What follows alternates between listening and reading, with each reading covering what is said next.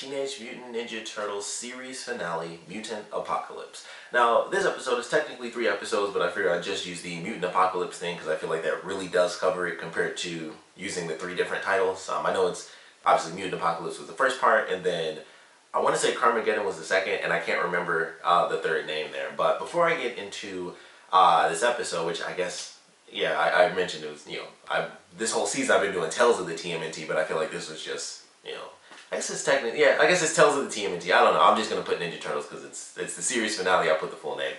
Um, but before I get into this review, I actually wanted to take a minute and talk about Nickelodeon putting this on Nicktoons. And I might do a whole video on this. I don't know. You guys let me know if you'd be interested in that and what you guys think for sure.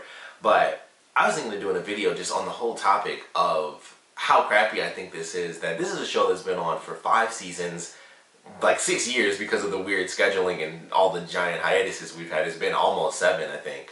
But it's been a show that I believe I never really checked the statistics on it, but I always assumed that the Ninja Turtles was going strong. It's a huge franchise, and I've always thought you know the show is absolutely phenomenal. I always just assumed that it got good ratings and stuff like that, and to have it where you know we knew going into this season. I didn't realize that when the season first started, and there's still some people finding this stuff out. But you know, before the season even really aired, it was like, yep, this is it. This is the last season, and we're going. We already know we're doing another 2D version of the Ninja Turtle series, which I'm definitely gonna watch it whenever it comes out. I will be right there to be like, start right over. I don't even care. Um, but to do this, you know, and it's not like that's about to air in like two weeks or anything, and it's like we don't want to confuse people, so we split the shows up. It's like that's not coming out. There's no, not that I've seen at least an official release date. Um, I assume it's coming out next year. I don't think there's even an official release year uh, window for it. But to put this show that's been on for five seasons on Nicktoons is just insane. It's disrespectful. I feel like it's so crazy that they would actually choose to do that. And then there's a million other issues that come with it. And the main issue, of course, um, is the fact that the series isn't, isn't even airing in order. Like they put the actual series finale out and then during the series finale, I'm watching it, and it's like, yeah, next week we're gonna be doing like the Halloween special, so be sure to check those out. I think it's supposed to be every Wednesday now. Um, they're gonna be doing. I assume they're gonna just be doing every arc. Is just gonna be done in a night. So I think they're pretty much all two episode arcs, except for I heard the Bebop and Rocksteady thing was um, a three episode arc. So you know they might do a special event for that as well. And then I know we have the well, one of the last episodes is gonna do an, is gonna be another crossover thing. That that may or may not be the Bebop and Rocksteady thing because I know they bring back Old Shredder, which I'm very curious how that's gonna work because I, I want to know who they get the voice to, um, who they get to do the voice for that. But you know, it was just crazy. Like this is supposed to be this is the you know the final episode after everything was all said and done, and they're like, yeah, let's do the series finale and then still show you know all the other episodes next week. So I hate when stuff is aired out of order and to bring back the show off of hiatus and then be like, yep, here's the series finale, and then we'll do the other episodes in the coming weeks. It's just like the most ridiculous thing in the world. Number two, of course, Nicktoons, which is of course the trash version of Nickelodeon. Um, can't even watch it in HD. Um, the episode is online now, but when it premiered, and it, it makes sense because they want people to watch it on the actual channel. But it's like, this is the series finale for a show, once again, that's been on for five seasons, and you put it on Nicktoons, which there is no HD version of Nicktoons. It does not matter what cable provider or package you have. Nicktoons is your standard definition. And it's like, how do you put a show like this on just the standard definition show? It's not even just 2D, it's 3D. Like, that's a lot more work, even than the 2D animation, which that's already a ton of work. And they went 3D, which is why we always had the insane hiatuses for the show, because it takes even longer to do, you know, 3D. And it's just insane to me. It's like, first off, it's out of order and then it's standard definition. You can, like I said, it's online now, so you can watch it in HD. But it was just insane, and it's just like, how did you know? Where is the respect for this sort of show that you've had on for such a long time? It like blew my mind that this was how it was supposed to play out. Because when I heard that the Heidi's was coming back, I was like, oh, cool, they're doing a special thing. I just assumed it was on actual Nickelodeon, and then I looked some stuff up, and it was like, nope, this is on Nicktoons. And I was like, wow, that is horrible. And then I heard that it was, you know, technically the season, the series finale. Because I was so confused. I was like, why are people saying it's a series finale? I know there are a bunch of episodes left, and it's because it's the actual series finale. So it's just the craziest freaking thing. And like I said, I, I want to take some time out because I don't know. I'm not 100% sure if I'll ever end up doing a video. but I probably will because this is the first time I've experienced this with Nickelodeon because I watched uh, the Avatar show, so Legend of Korra. It was like I had certain feelings of that too, but it was just crazy. I was like, this is a show that has been on for five years at least, has quite a few episodes. I think there's still like ten episodes, or it's like almost ten episodes after this are still uh, set to air. They're already being sold on DVD, like the Bebop and Rocksteady thing um, I saw, I think that was during the series finale as well, where it was like, hey, you know, buy it on DVD before it airs. So that's already finished. The Dracula stuff is already done, or all, all the monster things are already done. You can actually find a lot of these episodes on YouTube, but I was like, I'll actually at least watch them because I don't know what's cut or what's not cut to, you know, avoid um, copyright issues on YouTube. So I'll just watch the actual episodes as they air. But considering they did this, I don't know why they don't just put the episodes out online. I heard that they were, but they're not on the Nickelodeon website, not that I could find. But who knows? They might be there. The Nickelodeon website sucks too. Like even on that website, they don't have the numbers, the right numbers for the right episodes. Because I was talking about that when the uh, Yojimbo stuff came out. They were like marked as like episodes 16, 15, 16, and 17, I believe. And before the Yojimbo thing, we were on like episode 11. So I was like, I have to go to the wiki. I can't even go to the actual Nickelodeon website to get the right number for episodes, and it's just insane. So, wanted to do that, like I said, just talk about that before getting into the actual review of this because it really bugged me. It was just like, wow, that's that's just an insane amount of disrespect, especially considering they are actually going into another turtle show. You think they'd be like, hey, let's make sure we keep, you know, the turtles on Nickelodeon. Like they're doing another show that's already been announced to people. So it's just, it's like, it's even crazy. It's almost stupid from a marketing perspective because it's like, well, if you get rid of the last month and a half worth of episodes um, from your main Nickelodeon channel, then you screw up when people are like, hey, you know, when you start to say there's another Ninja Turtle show coming out, it, will still bring more people over, especially younger, uh, you know, the younger audience. It'll kind of just keep it fresh in their mind. For me, obviously, I'm a huge fan, so it's automatic. I'm gonna watch Ninja Turtles, but it's like from a lot of perspectives, it's dumb. But mostly, I just felt it was insanely disrespectful with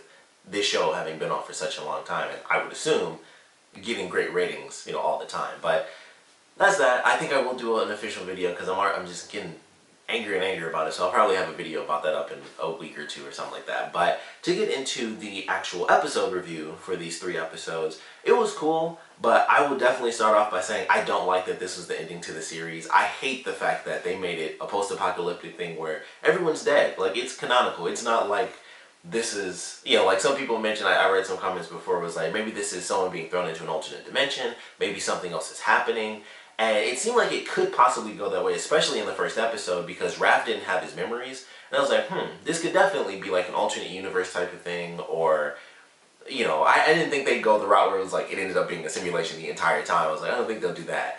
But it definitely sucked to me. I was like, man, this is dark. Like, we've had dark episodes before, especially if you watch the 2003 version. They had the episode, I think it was probably two or three episodes, where Mikey went to the future. And every time they go to the future, everybody's dead. That's like the Ninja Turtles future is always apocalyptic, except for um, the Fast Forward series that was specifically meant to be like a normal future. But every time they go to the future, everybody's dead and stuff, and Mikey goes to the future, the turtles are all older, and like throughout that episode, I think each turtle ends up dying until it gets to like Mikey and like, one other turtle, and they end up he ends up like changing the past. But you know, they go into this, and it's just like, yep, everybody's dead. Um, somebody, I mean, I'm, I'm just to assume it's the Krang. They don't ever actually talk about it because I was super curious. I was like, I almost want episodes about what happened because it's like this giant bomb goes off and everybody dies and there's only mutants and things like that. And it was just interesting. I was like, how in the world is this to play out exactly? But ultimately, it does end up being the actual canonical ending to the series, which is just insanely dark because like everything they went through and it's just like, yeah, everybody's dead in the future. Like that's all I'm gonna think about. I'm not gonna lie. Every episode that I watch after this, all I'm gonna think is this doesn't matter because everybody's dead. Like it's super sad. Like it's insanely dark. And I was like, man, it sucks that they made this like the canonical ending to this version of the series. The future is just desolate, a desolate wasteland where everyone's been killed off. Um, Casey, April, and Karai, um, Shinigami, I would assume like all of them are dead. They, you know, there's it was only three episodes, so they could have put that stuff in there if they were doing like a crazy. I mean, it could almost be like a full season by itself, where they dive into the fact that you know Karai, of course, being able to control her mutation, she probably could have survived and would have been fine if she wasn't near the blast. Other characters uh, being mutated, Shinigami, April, Casey would have had to have been mutated. little stuff like that. Um, they definitely could have gone into it if they wanted to, but of course it was just the three episode series finale, so it's just like we just assume everybody's dead. So it starts off with Raph, um, and he's the only survivor, and then Donnie is surviving because his mind was put into um, a new turtle bot, which I thought was really cool. It was a great design. I thought it was it looked really sweet. Um, but it's the two of them. They're doing you know Mad Max thing. So they're going along. It's the super dark future. He you know, I guess he got mutated extra so he was able to grow hair even as a reptile. Um, so, you know, they go through and it's, you know, it's super dark and desolate and they need gas and everything. It's truly Mad Max. And so as they're going along, they get into a couple fights. After they get out of this first fight, they end up going to a, a gas station where Raph gets knocked out by, I want to say she was a, a meerkat, I believe it was. And she has like this electric whip. And so she, she knocks him unconscious, steals the ride, ultimately Donnie ends up waking up from like his sleep mode. He takes her out, and then you know he goes and he gets Raph. So that's when they start to get into like this lesson of this girl is tattooed. This is who like the main villains we're looking for and stuff. Where it's like we're looking for a girl with a map, and she ends up being like this girl who's gonna lead them to Oasis. And I always thought something was gonna happen where they would be like, oh, the map was like a subway system, because that's what it looked like to me. It was like blue and yellow and red. And I was like, that's definitely just like a subway system map. But it ended up being an actual map to Oasis, so I was very surprised by that.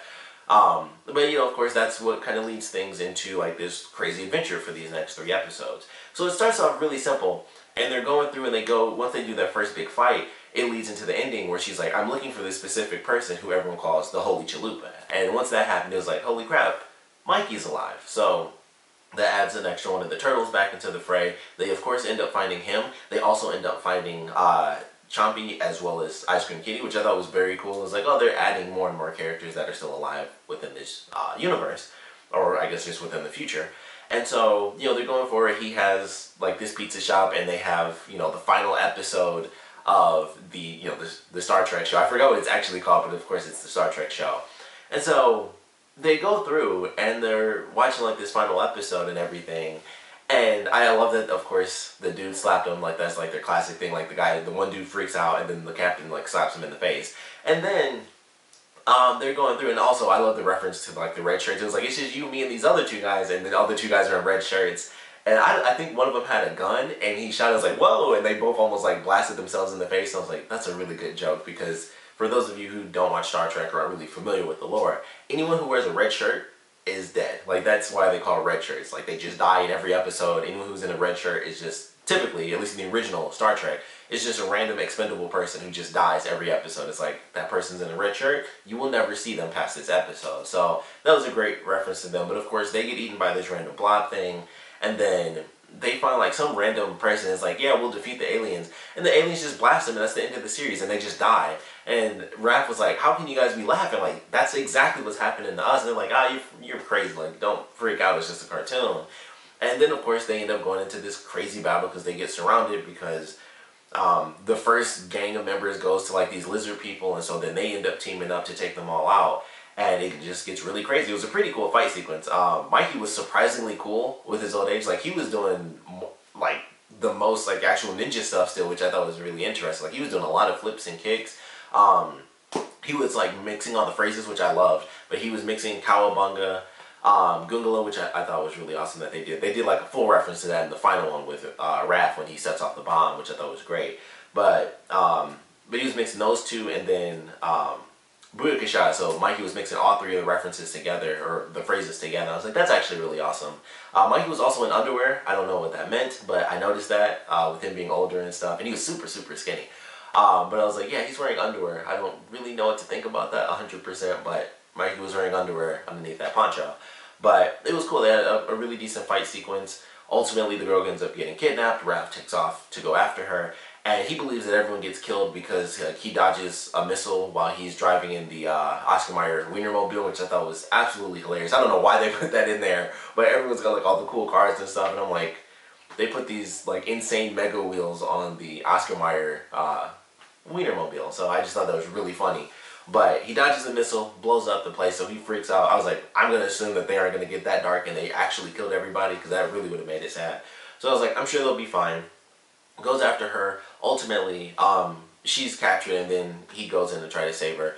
and he ends up getting captured and thrown into the arena, which I thought was a cool little sequence. You know, like both the leaders of the gangs wanted to take him out, so they were like, all right, well, let's just, you know, typical villain stuff, let's just team up and take him down. But ultimately, he ends up beating them both. He rips the one dude's arm off who had the chainsaw, and he knocks the other dude out, and it's like, well, based off of this, you are officially the ruler of both these gangs now, and everyone's calling him, you know, Red Stripe. So I thought that was really cool. Of course, the first guy who had been chasing him since the beginning, he was like, I don't, I'm not to follow these rules. I'm to go back to my master. And I knew it was to be Leo because they introduced, you know, everyone surviving and stuff. He's like, well, I'm to go back to my master, and then, you know, we'll actually get this girl, and we'll get the map, and we'll find Oasis. So, you know, he takes off, and I was like, it's definitely to be Leo. And of course, Leo ends up being like the hulking evil one. Uh, they made it look super funny. I got to be honest. When it got to the final episode and you know everyone's back together and they're going, you know, they're headed towards Oasis and they go through like the main sequence and you know they're they're having like their crazy shootout and stuff. The lizard dude who ended up falling after Raph, he actually gets killed. He's just yelling Red Stripe and then he gets blended up in the thing. They go through their whole uh, combat sequence and then of course it comes down to Raph versus Leo, which I thought that was a perfect way to do it because like it's always going to be the two of them fighting. No matter how much the turtles are together, no matter what craziness happens, it will always come down to Raph versus Leo. And you know they're fighting, and eventually he knocks his helmet off, and I was like, that just looks so weird. I thought his face would be changed, but he just looks weird. Like he has like it was literally like a baby's face on this crazy monster's body because his face still looked like perfectly smooth and normal. Like he still looked young, and that was the weirdest thing about it. Everyone else looked like they aged you know, Mikey looked older and he was skinnier, Raph got older and of course he was bulkier. And for Leo, he was mutated like to an excessive amount and like, you know, driven crazy. But his face was like perfectly shaped. He was like stuck with the teenage face with the monster body. And it was the funniest thing because like even his neck was huge and then it would just be like, and go this tiny little circle on his head. And it just looked so funny to me. I was like, it looks so weird and out of place that his face is so normal. Like there was no marks or any scratches, none of that stuff. It was like the perfect turtle face I was like, that just looks weird on this giant hulked out body. There's like no difference in his face. It was so funny to me when they first showed it because it just looked weird. But ultimately, you know, Raph is not going to fight back against his brother and he's able to kind of snap him out of it and everything kind of works out fine. They end up finding Oasis there with, you know, uh, the girl, I totally can't remember her name, but it's the turtles and this girl they find oasis which it looked like it was just like a giant pond. It was like the biggest almost like the biggest swimming pool really because it was like a perfect uh, rectangle and then there was like you know grass and stuff around it. And they end up finding it um, i thought there would be like other people there maybe or something like that but it was like it's just them and this girl. And i was like okay that's interesting. She's kind of like you know the younger new april like she even uses april's like motorcycle and stuff like that which i was trying to remember um have we seen that in the show? I, I was trying. I'm sure we've seen it. it we had to have seen that somewhere in the show. But I was like, I know April always has a motorcycle, but I feel like we haven't seen it in this version of the show.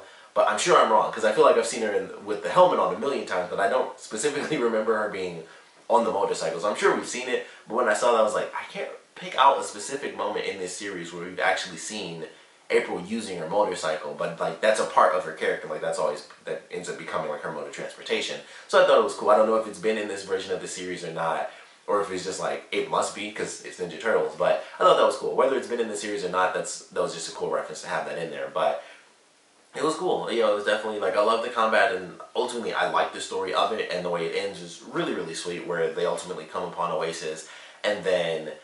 um you know, it, ends and then kind of pans up to the sky and it's Splinter and the Turtles and they all end up taking a picture. I would have loved if it was everyone uh, taking a picture, at least all the heroes, or even like if it was just the main group of heroes, if it was the Turtles, Splinter, Casey, April, and Karai. I would like Shinigami in there, but I mentioned before, I just like Shinigami. Um, but if it was them, I thought it would have been even cooler because I'm like, you know, granted it would have made it sadder because I'm like, you know, we don't see anybody, so everybody's dead. But I was like, it would have been cool if they did that because, you know, it's Casey and April at least, you know, and then Karai is of course Splinter's daughter. It's just it works. Like I know it's Master Splinter and, and the Turtle, so it makes perfect sense to just have them. But I was like, with this being the series finale, you think they would you know at least somewhat reference that. I mean, it's not like Splinter was in there because he'd been dead forever. So you know, just to have all of them together as like this this family picture, I think would have been really cool. But of course, when you go to Turtles, the first thing that comes to mind really are the Turtles and then uh, Master Splinter. But it was really well done. Then they have like the ending thing, which is actually reference to like the first issue of TMNT with like the old school drawing where it says this is for um, you know, it's basically for uh, Eastman and Laird.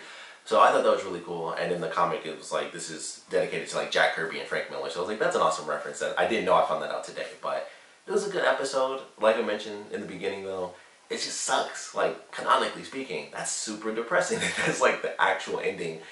Mutant apocalypse. Everybody's dead. So still a great story. I definitely enjoyed watching it. Um, I love the different styles, you know, for the characters. Like obviously Donnie's not even in his body anymore; he's a robot. But older Raph, older Mikey, um, older but mostly mutated uh, Leo. Definitely cool. I, I definitely enjoyed it for a series finale. It's definitely well done, without a doubt. It was just sad that it was like the post-apocalyptic future. Like this is the ending. It's not an alternate future or anything like that, unless they're secretly putting that in one of the other episodes we're gonna watch later. It's like the actual ending. Everybody's gone. So it was like, huh, that's super depressing. But it was a good episode. Definitely um, and emotional, especially with it being like that specific story with like the post-apocalyptic future. Definitely super emotional as an ending to the series because I don't think it gets more emotional than the whole world is completely destroyed and you know this is how the story ends for the turtles. So I don't think it can get more emotional than that really. But it's definitely a good story, of course. I would love to know what you guys thought about this finale. So please put your comments down in the comment section below. Uh, let me know your favorite parts about it, your least favorite parts about it. And it's crazy that I can say this during the series finale, but I do want to know um, what you know final arcs you guys are looking forward to the most. Um, I'm curious about the crossover thing. I think the Bebop and Rocksteady stuff is where the crossover takes place, so that's what I'm interested in the most, especially with them bringing the 80 Shredder over, because I mentioned before, I want to know who does the voice acting for that, because the original voice actor passed away a, long, uh, a few years ago. So I'm really, really curious about how that's going to play out. But We'd love to know what you guys thought about the finale. Um, everything, especially, like I said, the Nicktoons thing and what Nickelodeon did with the show. I definitely want to know your thoughts on that. And like I said, I'll probably have a video for that up, like maybe a week or two, uh, just to kind of get my thoughts together and figure out how exactly I want to do that. But like I said, want to know what you guys thought about the series finale and what you guys are looking forward to for the other arcs that are, have yet to air. So please put your comments down in the comment section below. And of course, thanks for watching.